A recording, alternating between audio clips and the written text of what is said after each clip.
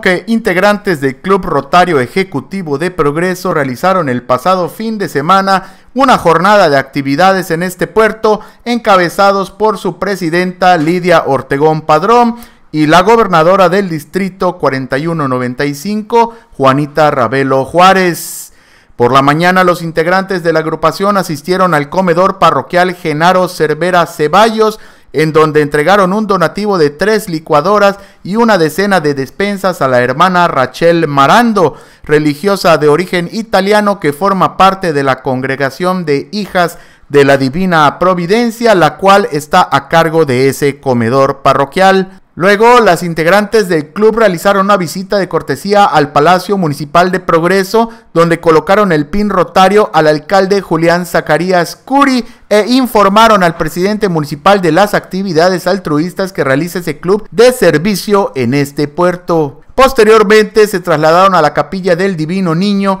en el poniente de la ciudad, en donde participaron en una actividad denominada Duelo Verde Rotario, donde realizaron la siembra de árboles en memoria de las personas de este puerto que han fallecido a causa de la pandemia del coronavirus COVID-19. También hicieron la entrega de una silla de ruedas en apoyo a una vecina de este puerto. Por la tarde, la presidenta del club, Lidia Ortegón Padrón, encabezó una comida en el restaurante Alta Vela en el malecón tradicional, al que asistieron como invitados el diputado local del noveno distrito, Eric Rijani González, y el diputado local del distrito 11, Luis Fernández Vidal, expresidente del Club Rotario de Valladolid y actual asistente de la gobernadora del distrito 4195.